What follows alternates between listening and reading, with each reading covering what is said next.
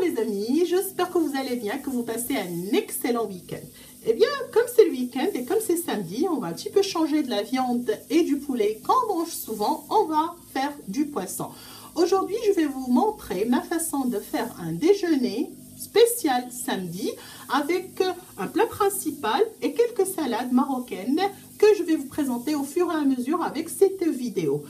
pour le plat principal, j'aurai besoin d'un merlin coulin moyen, pas trop gros, pas trop euh, petit non plus.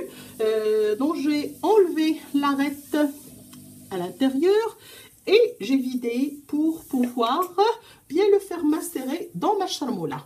De quoi j'ai encore besoin? Dans mon plat qui va au four, j'ai mis mes patates, 3-4 patates selon vos envies et selon ce que aiment vos enfants. Moi, j'ai des enfants qui adorent les patates, donc j'en mets pleinement. J'aurai besoin de deux poivrons que j'ai coupés en lamelles, des citrons non traités, de préférence, ça sent bon le citron, un petit peu de romarin, un petit peu de feuilles de laurier, 3 ou 4, c'est selon, un petit peu d'olive, j'ai choisi ici des olives qui, ont, euh, qui sont dans une charmoula spéciale avec de la harissa. Vous pouvez choisir ce que vous voulez, mais je vais le mettre de côté de telle façon à ce qu'il ne nuise pas à mon plat pour que les enfants peuvent se servir sans problème. J'ai besoin de deux tomates euh, que j'ai épluchées et puis euh, que j'ai passées au mixeur. Et bien sûr, j'ai besoin de l'huile d'olive, des fameuses poivrons que j'ai mis à macérer dans de l'huile d'olive avec euh, euh, des, des, épices spéciales. Et bien sûr, j'ai besoin de ma fameuse charmoula sans laquelle le poisson ne va pas. Qu'est-ce que j'ai mis là-dedans? J'ai mis un bon bouquet de coriandre, 4 ou 5 gousses d'ail, j'ai mis du citron pressé, j'ai mis un petit peu de paprika, du poivre, du sel et tout simplement un petit peu d'huile d'olive. C'est tout pour ma charmoula. Vous pouvez rajouter de la harissa si vous voulez. Si jamais ce n'est pas le cas pour vous, que vous n'aimez pas que ça soit trop fort ou trop pimenté, vous pouvez vous abstenir. Donc, c'est très simple. J'ai mis, comme j'ai dit, mes patates dans le plat qui va au four. Dans mes tomates, j'ai mis un petit peu de sel. Je rajoute aussi du sel dans la charmoula quand je la fais mixer. Je vais rajouter tout simplement une bonne cuillère de ma charmoula à ma sauce tomate et puis une autre, excusez-moi, je vais ôter l'excédent d'eau, une autre à mon poisson.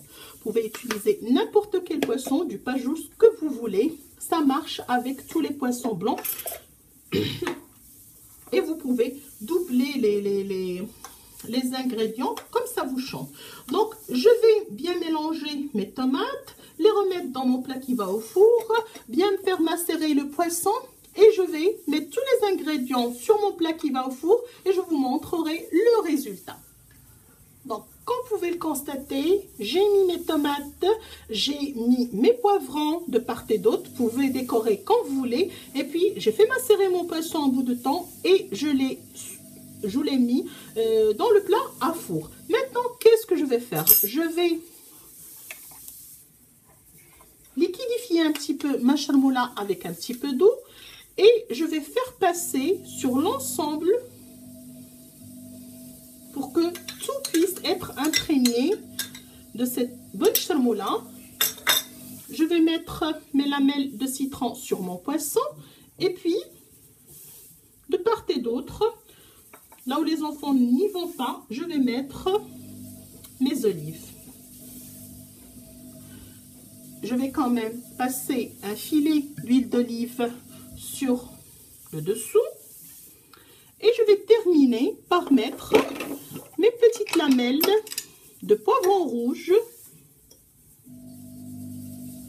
qui est bien macéré dans de l'huile d'olive sur le dessus. C'est un excellent plat il y a de tout là-dedans et vous pouvez les consommer sans modération, surtout les week-ends. Moi, j'aime bien le préparer le week-end quand j'ai le temps. Voilà, j'avais aussi, du poivron jaune là-dedans.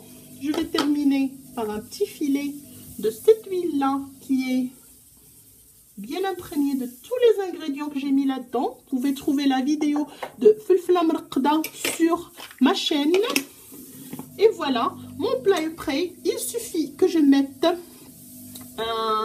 euh, du papier de cuisson dessus et puis un papier aluminium. Je le mets au four pendant une trentaine, quarantaine de minutes selon euh, ce que euh, mon poisson, comment mon poisson va cuire.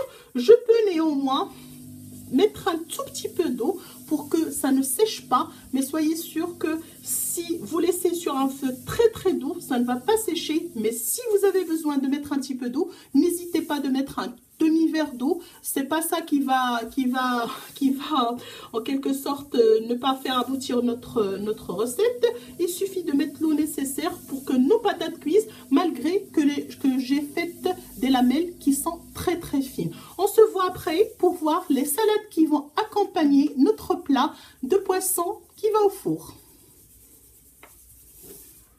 Voilà, mon plat est prêt. Je l'ai accompagné d'une salade variée de chou-fleur avec une petite salade d'aubergine.